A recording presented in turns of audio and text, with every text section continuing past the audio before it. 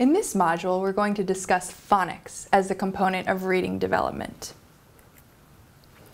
Phonics is the second block of five that the National Reading Panel discusses as best practices for reading instruction.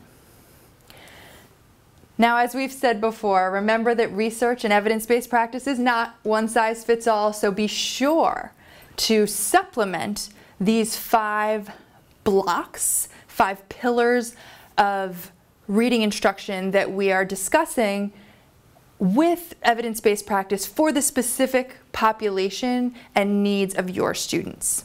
Because do note, the National Reading Panel did not focus on our students who are culturally and linguistically diverse. So what is phonics? Phonics is the relationship between a sound and its corresponding written letter. So we're in that first stage of phonemic awareness, we were talking about the auditory learning. We're now intentionally bringing in the written letter, the grapheme. Reading development is dependent on the understanding that letters and letter patterns represent sounds of spoken language.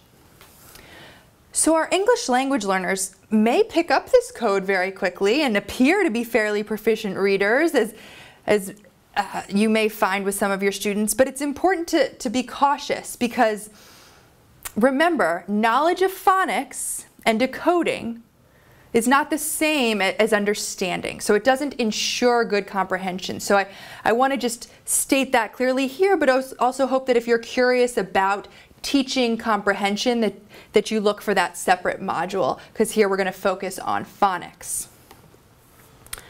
So there's a lot of challenges that are very real that we need to be aware of for our students who are English language learners when we go through phonics instruction. So many of the vocabulary words that we're asking them to decode may be unfamiliar.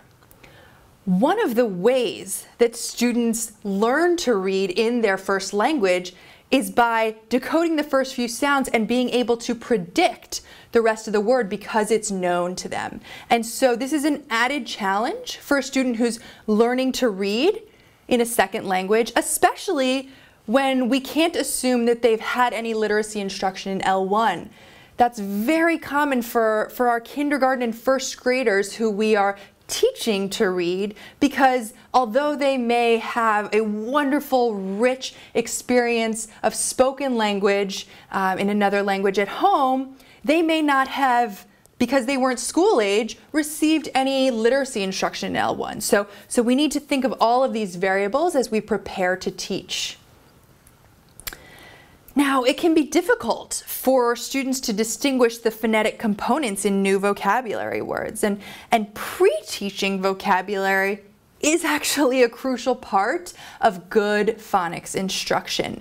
Now, in order to make sure the demands are not too great on our students, I recommend starting with vocabulary that is known.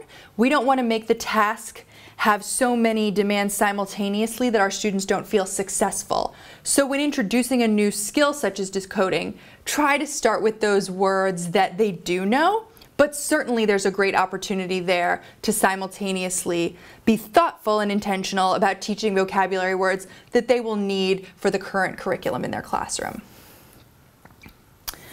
Students can become good word callers but that does not necessarily mean they understand what they, they're reading. So, so we mentioned this before, but I just want to reiterate how distinct these components are of, of phonics and decoding versus comprehension. So, you know, you could put uh, a French text in front of me and I might not sound, I won't sound native, but I could probably decode some of the words, but I won't be comprehending anything. So, so it's important to, to really think about although we want to celebrate the strengths, that we can't take those strengths as an assumption that other skills are already there.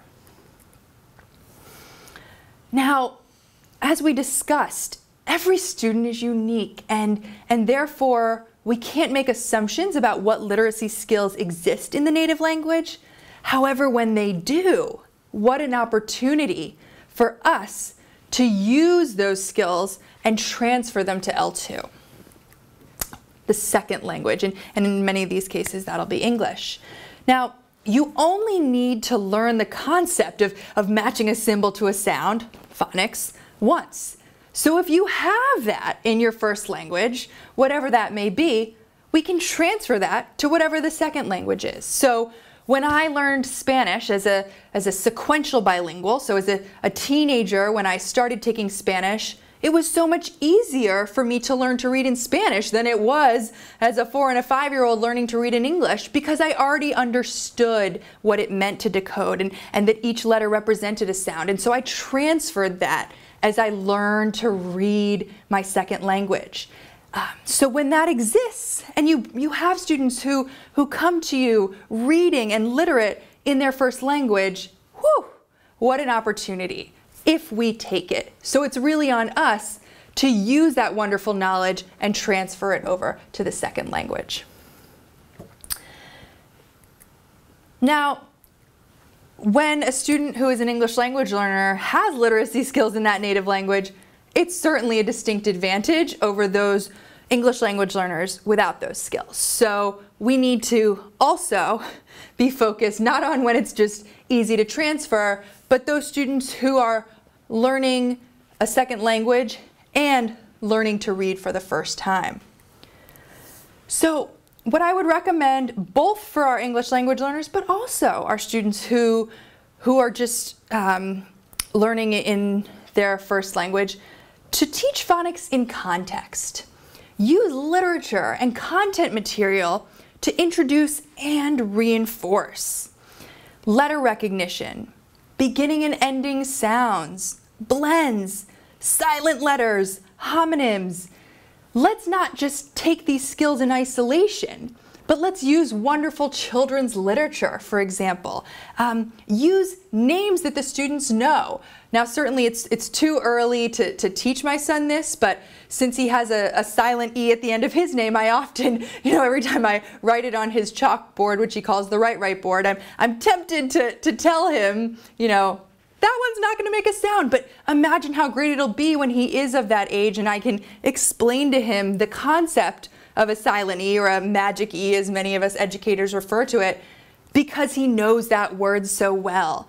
And so think about the kids in your classroom. Think about those that have a, a blend in their name like I do at the beginning. And why not teach st Stephanie and the blend of ST with a word that, that the peers and, the, and your students have seen hanging on the wall of their classroom or on a stop sign instead of just taking this concept out of context.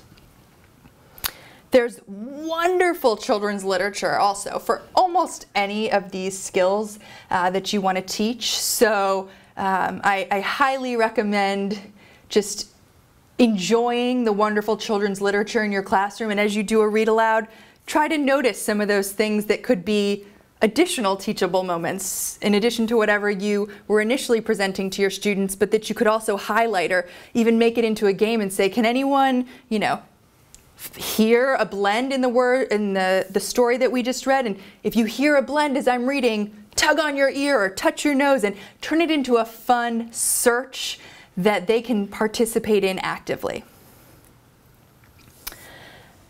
I think it's so beneficial for our students and the research supports using hands-on activities to help teach the sound and letter relationships. So this can include using manipulatives such as counters, sound boxes, magnetic letters.